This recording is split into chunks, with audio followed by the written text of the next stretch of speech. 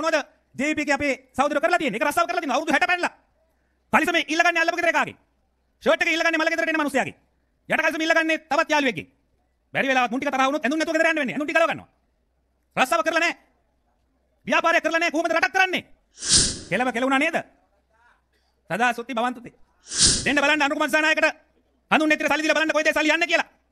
මම අභියෝග කරනවා. අනුකුමාර දිසානායකට පුළුවන් නම් ඔබතුමාලගේ පක්ෂයේ ආදායම් සම්බන්ධයෙන් විගණනයක් ඉදිරිපත් කරන්න මේ අපේ මාධ්‍ය මහතුන් ඉන්නවා. පුළුවන් නම් Tamanට ලැබුණු මුදල් ප්‍රමාණය මොනවද වියදම් කරේ කියලා පුළුවන් නම් පෙන්නන්න. මට ඒ කාලේ මතකයි ශ්‍රී ලංකා පැතුමා කියනවා මහින්ද රාජපක්ෂ මහත්තයාගේ අම්මා වැඩියෙන් ආදරේ රනිල් වික්‍රමසිංහටලු. මොකද තමන්ගේ පුතාලව රජ කරන්න විශාල කාර්යභාරයක් රනිල් මහත්තයා කරා. ඒකේ නැවත අපිට ගෝඨාභය කෙනෙක් මේ රටේ ගේන්න බෑ. ගෙනාවොත් අපේ රට විනාශ වෙනවා. කණ්ඩ බොන්න නැති වෙලා ඉතියෝපියාවට අන්ත තත්ත්වයකට මේ රට වැටෙනවා. අනුකුම සානායකට මේ රට ගියොත්. අපිත් එක්ක අද දැවන්ත දේශපාලන චරිතයක් ඒ, අවුරුදු දෙකක විරාමයකින් පස්සේ අපිත් එක්ක එකතු වෙන වගේ. එහෙමනම් වසර දෙකක දිග නිහඬියාවකින් පසුව නිහඬිය හිටියත් එතුමා දේශපාලනයෙන් මදකට නිහඬවලා ඉඳලා ශ්‍රී ලංකා නීති විද්‍යාලයේ නීතිවේදී උපාධියෙන් පසු ඇමරිකාවේ හාවර්ඩ් විශ්වවිද්‍යාලයට ගිහිල්ලා නීතිය හා රාජ්‍ය පරිපාලනය හා ජාත්‍යන්තර සම්බන්ධතා පිළිබඳව උපාධිය හදාරමින් ඉන්න අතරතුර අපේ විපක්ෂ නායකතුමා නැවතත් කතා කරා සුජීව සේනසිංහ එන්න එකතු වෙලා සමග ජානවල වේගය වටා එකතු වෙන්න එකතු වෙලා මේ මෙතිවරණය ජයග්‍රහණය කරන්න මේ මෙතිවරණේ ශිළු වගකීම් බාර ගන්න කියලා නායකතුමා කතා කරාම නායකතුමාට ආදරේ තියෙන ඒ ආදරණීය හිටපු රාජ්‍ය අමාත්‍යවරයා. ඒ තමන්ගේ අධ්‍යාපන වැඩකටයුත්ත නතර කළා දාලා මේ නායකයාට නැවතත් හිට ගන්නට එතුමන් සමග අත්වැල් බඳ ගන්නට ඒක රාශි වුණා. මුළු රටම ඒ වගේම මැතිවරණ ප්‍රචාරක සහ ප්‍රවර්ධන ලේකම් ලෙස කටයුතු කරන හිටපු රාජ්‍ය අමාත්‍ය සුජීව සේනසිංහ මෙතුමනි ඔබතුමන්ටයි ගෞරවනීය ආරාධනය. රත්වටින් ජනගඟ අමතන්නට සුජීව සේනසිංහ මෙතුමාට ඒ ආදරණීය නායකයාට සුජීව සේනසිංහ මෙතුමාට. අවුරුදු දෙකකට පස්සේ මම මේ දේශපාලන මැතිවරණ වේදිකාවක අමතන්නේ ඒ වගේම දේශපාලනය සම්බන්ධයෙන් කතා කරන්නේ මම අවුරුදු දෙකකට පස්සේ. මේ ප්‍රදේශයේ විශේෂයෙන්ම මාතලේ ප්‍රදේශ ජනතාව එක අපි ළඟින් වැඩි කරලා තියෙනවා.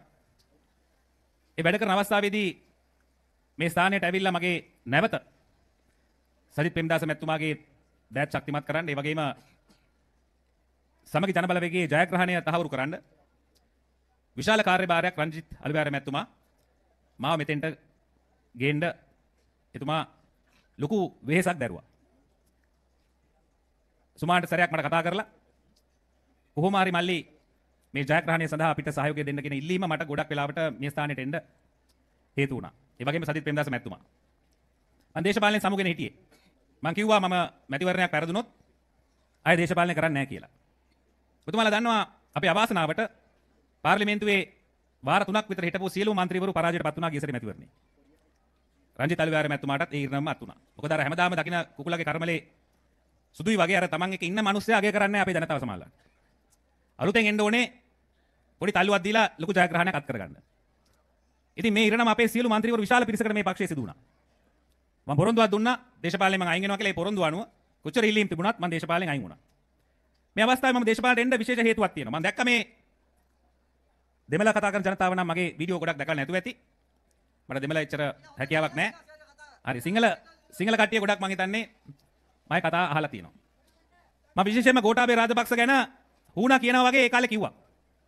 දැන් මට මන් දකින්නවා මේ Facebook වල දාලා තියෙන ඔබතුමා කිරි ගහට ඇන්නා වගේ මේක කිව්වා නේද කලින් කියලා. රාජපක්ෂලා ගැනත් මම එහෙම කිව්වා. මට පොඩි පේන කියන්න පුළුවන් ගතියක් මට තියෙනවා.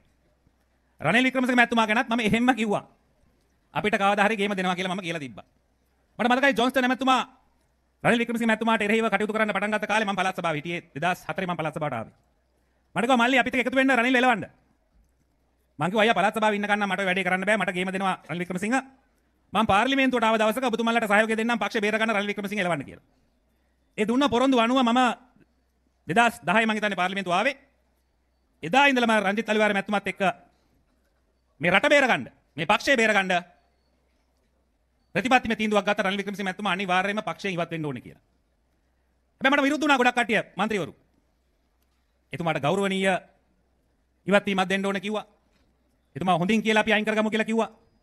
කොහෙන් හරි රනිල් වික්‍රමසිංහ මැතිතුමාත් මේක දැනගෙන කොහෙන් හරි ඔත්තුකාරයෙක් එවනවා අපේ සටන පාවා දෙන්න.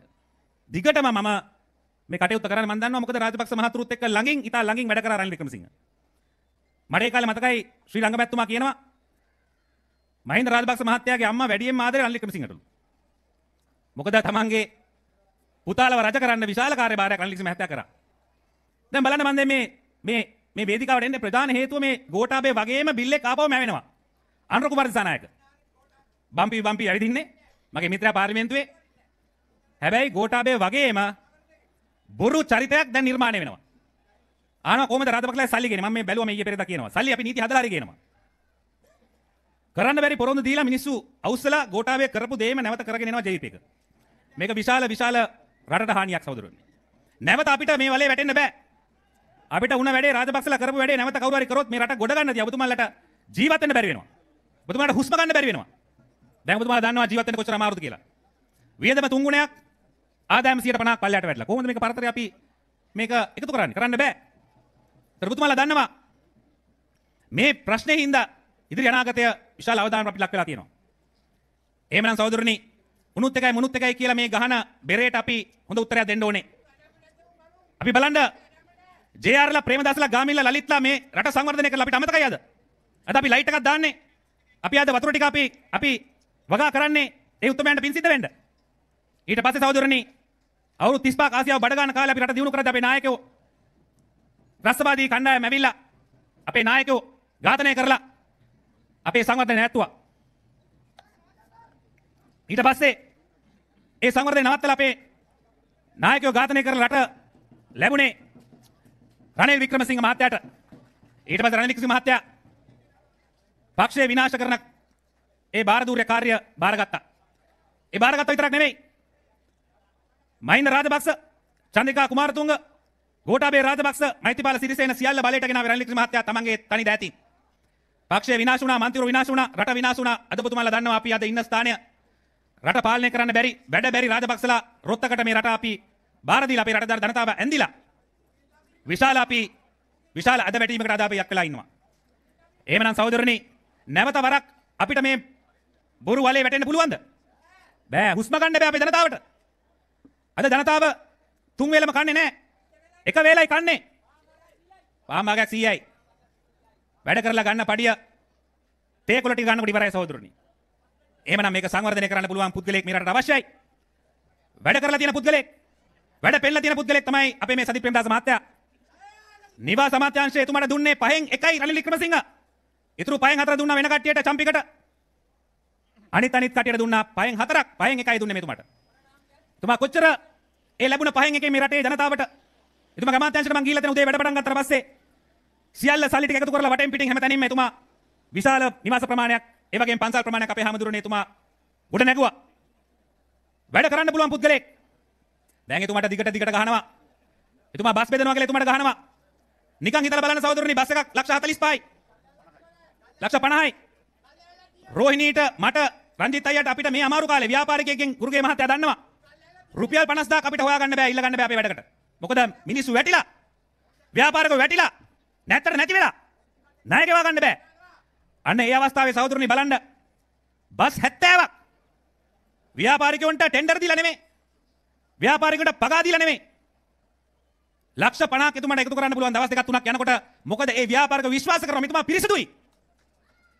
ඒ මුදල් ප්‍රමාණය හැම සතයක් මෙතුමා ඉතුරු කරලා අපේ දුප්පත් දරුවගේ ඒ පාසලේ අවස්ථාවේට ඒ දෙන මුදල වියදම් කරනවා කියන එක විශ්වාස කරනවා ව්‍යාපාරිකයෝ.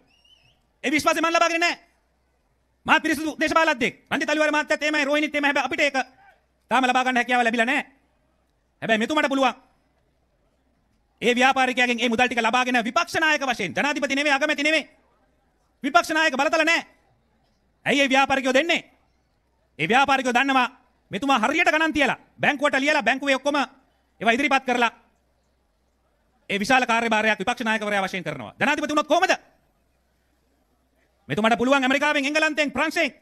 මෙතුමා ඉල්ලලා ගණ්ඩ ඉතාමත් දක්ෂයි. මොකද මෙතුමා ඒ මුදල් ප්‍රමාණය හරි වැඩේට පාවිච්චි කරනවා කියලා ඒ නායකයෝ දන්නවා අපිට රටින් නායකයෝ. දෙන්න බලන්න අනුර කුමාර දිසානායකට හඳුන් නෙත්‍ර සල්ලි දීලා බලන්න කොයිද සල්ලි යන්නේ කියලා. මම අභියෝග කරනවා. අනුර කුමාර දිසානායකට පුළුවන් නම් ඔබතුමන්ලගේ පක්ෂයේ ආදායම් සම්බන්ධයෙන් විගණනයක් ඉදිරිපත් කරන්න මේ අපේ මාධ්‍ය මහතුන් ඉන්නවා. පුළුවන් නම් Tamanට ලැබුණු මුදල් ප්‍රමාණය මොනවද වියදම් කරේ කියලා පුළුවන් නම් පෙන්නන්න. සහෝදරනේ මෙතුමා එංගලන්තයේ අධ්‍යාපනය ලැබුවා. උපාධියක් ලැබුවා. රෙස්ටරන්ට් වැඩ කරා මමත් කරලා තියෙනවා ඇමරිකාවේ. 7-Eleven ඔය පොඩි කඩේක මම වැඩ කරා. පිස්සා ඩෙලිවරි මම කරා. අපි වැඩ කරලා නීති විමෘතිය මම ඇවිල්ලා.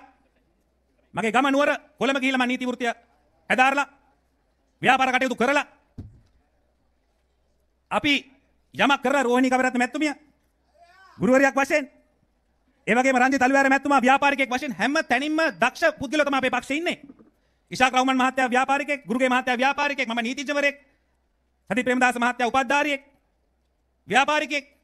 එතුමත් වැඩ කරා එංගලන්තේ එතුමා ඉගෙන ගන්නකොට ওই පොඩි පොඩි රස්සා. ඒ අත්දැකීම අපිට තියෙනවා. මොනවද JVP එකේ අපේ සහෝදරයෝ කරලා තියෙන්නේ? ඒක රස්සාව කරලා තියෙනවා. අවුරුදු 60 පැනලා. කලිසමේ ඉල්ලගන්නේ අල්ලපු ගෙදර එකාගෙන්. ෂර්ට් එක ඉල්ලගන්නේ මල්ල ගෙදරට එන මිනිස්සයාගෙන්. යට කලිසම ඉල්ලගන්නේ තවත් යාළුවෙක්ගෙන්. බැරි වෙලාවත් මුන් ටික තරහ වුණොත් ඇඳුම් නැතුව ගෙදර යන්න වෙන්නේ. ඇඳුම් ටික ගලව ගන්නවා. රස්සාව කරලා නැහැ. ව්‍යාපාරය කරලා නැහැ. කොහොමද රටක් කරන්නේ? මම මේ මාධ්‍ය මහතුන්ගෙන් අහනවා කොච්චර අමාරුද මේ මාධ්‍ය මහතුන්ට මේ තමන්ගේ වෘත්තිය පුරුදු වෙන්න. පුළුවන්ද ඔක මට කරන්න? එක දවසින්. බෑ. ඕගලන්ට හොඳ මේ සම්බන්ධයෙන් එක්ස්පීරියන්ස් එකක් තියෙනවා. ඕගලේ කරලා තියෙනවා. ඒක අපිට කරන්න බෑ. මාධ්‍ය කරන්න මං හරි ආසයි මට පුළුවන් කියලා හිතනවා. හැබැයි ඒකට අත්දැකීමක් තියෙන්න ඕන සහෝදරනි. ඒකයි ගෝටට උනේ. ගෝට හිතුවා පුළුවන් කියලා. අපේ ලංකාවේ මිනිස්සුත් සිංහල විශේෂයෙන්ම අපේ මිනිස්සුත් හිතුවා පුළුවන් නේද කියලා. හැබැයි මොකද උනේ? කෙලව කෙලුණා නේද? සදා සුත්ති භවන්තුති. නැති වෙලාම ගියා රට. අය කතා කරන්න දෙයක් නැහැ. ලෝකේ තියෙන දුප්පත් රට බවට පත් කරා. හැබැයි ගොඩ ගන්න පුළුවන් මේක පොඩි රට. අපිට අවුරුදු දෙකක් දෙන්න. වැඩ කරලා පුරුදුයි වැඩ පෙන්නලා පුරුදුයි. මේක පොඩි රට මේක දිනු කරන්න පුළුවන් මේකේ සංචාරක ව්‍යාපාරය මේකේ කර්මාන්ත මං කර්මාන්ත 200ක් ගෙනාවා මලික් සමරේක්‍ර මහත්තයා නැවැත්තුවා. මම හිටියේ වෙළඳ අමාත්‍ය. මිල්ලනිය ප්‍රදේශයේ පරීක්ෂා කරලා බලන්න ෆැක්ටරි 200ක් මම ගෙනාවා තායිලන්තයෙන්. මලික් සමරේක්‍ර මහත්තයාට කිව්වා සුජීව සේනසිංහ ගොඩක් ප්‍රසිද්ධ වෙනවා මේක නවත්තන්න කියලා. මගලා තියෙනවා තාම ලියුම. ඒකේ මලික් සමරවික්‍රම තායිලන්තයේ අපේ ඉන්න එම්බැසිඩර් ලිව්වා වාර්තා කරන්න සුජීව සේනසිංහට නෙමෙයි මට කියලා. මම වතුර දීලා මිල්ලනේ ප්‍රදේශ අක්කර 400ක් ලයිට් දීලා ඉඩම වෙන් කරලා ෆැක්ටරි 200 එන්න තියෙද්දි මට අයිතිකාරයෝ කතා කරලා කිව්වා අපි මේකට කැමති නෑ සුජීව ඉංග්‍රීසියෙන් මට කිව්වේ මොකද ජපානයේ කොටස්කරුවෝ මේකට ඉන්නේ නිපොන් ආයතනයේ we don't like ambiguity කියලා කිව්වා. ඒ කියන්නේ වෙනස් වෙන දේවල් වෙනස් කරන දේවල් වලට ජපානයේ ඒ කොටස්කරුවෝ කැමති නෑ කියලා. ඒ හින්දා අපේ ඕගලන්ගේ රටෙන් ඉවත් වෙනවා කියලා මට ඇහුවා. මම මේක රනිල් වික්‍රමසිංහ කියලා කිව්වා. සත පහකට ගණන් ගත්තේ නෑ සෞදි රනිල් වික්‍රමසිංහ මහත්තයා. මං කිව්වා මට දෙන්න එපා ක්‍රෙඩිට් එක මට දෙන්න එපා කිසිම දෙයක් ඔබතුමාලා ගන්න සියල්ල මේ ෆැක්ටරි 200 ලංකාවට ගෙනිට දෙන්න කියලා. අන්න එහෙමයි රනිල් වික්‍රමසිංහලා මලික් සමරේ මහත්තයාලා වැඩ කරේ සෞදුරනි. ඒක අපි වෙන් වෙලා මේ ජයග්‍රහණය අපි සමගි ජනවලේ අත් කරගන්නකොට මට කට්ටිය කිව්වා රංජිතට මතක ඇති රනිල් වික්‍රමසිංහ ආසන පහක්වත් ගනී කියලා. නෑ මං කිව්වා 101.5 රනිල් වික්‍රමසිංහට තියෙන්නේ. UMP නම හින්දා තව 1.5ක් ඕන නම් ලැබෙයි වැඩි මොනොත් ආසනයක් ගන්න බැරි තරමට එතුමා එක ආසනයක් ගන්න නැහැ කියන එක මම එතුමා ඒ අවස්ථාවේදී රංජිතට මතකදී ඒ රැස්වීම වල මම කිව්වා. ඒක සිද්ධ වුණා. මට ඈත පේනවා. එහෙනම් මම පෙන්නකොට ඒක මේ රටේ ජනතාව පොඩ්ඩක් හිතලා බලන්න ඉරිසියාවට ක්‍රෝධයට නෙමෙයි මම කියන්නේ සහෝදරනි. රටේ අනාගතේ නැවත අපිට ගෝඨාභය කෙනෙක් මේ රටේ ගේන්න බෑ. ගෙනාවොත් අපේ රට විනාශ වෙනවා. කණ්ඩ බොන්න නැති වෙලා ඉතියෝපියාවට අන්ත තත්ත්වයකට මේ රට වැටෙනවා. අනුර කුමාරසානායකට මේ රට ගියොත්. එහෙනම් සහෝදරනි අර අපිට ඒ ප්‍රහාරය එල්ල වුණ වෙලාවේ මේ රටේ ජනතාව බය වෙලා ගෝඨාභය රාජපක්ෂ නැවත රාජපක්ෂ පවුලේ පුද්ගලෙක් දන්නේ නැතුව බලයට ගෙනාවා. ඒ වැරද්ද නැවත කරගන්න එපා අපේ අම්මේ තාත්තේ. ඒ වැරද්ද කරන්න ඔබතුමාලා ඉඩ දෙන්න එපා රටේ ජනතාවට අසල්වැසියට. ඔබතුමාලා බලාපොරොත්තු වෙන ඒ සංවර්ධනයේ ආරක්ෂාව ආර්ථිකය හසුරවන්න පුළුවන් දක්ෂ පිරිසක් අපේ පක්ෂේ ඉන්නවා. මම බලන්නේ මේ කියන දේ බලන්න. එකෙක් ඉන්නවද නිකමෙක් මෙතන නායකයෙක්? මට අද්දික් කරලා බය නැතුව අපේ ආමතුරේ කියන්න පුළුවන් අපේ නායකයෝ. හැම මොකක් හරි ව්‍යාපෘතියකින් දක්ෂ බවට පත් වුණු නායකයෝ මෙතන ඉන්නේ. කයිවාරුකාරයෝ විවේචකයෝ කතාකාරයෝ නෙමෙයි මෙතන ඉන්නේ.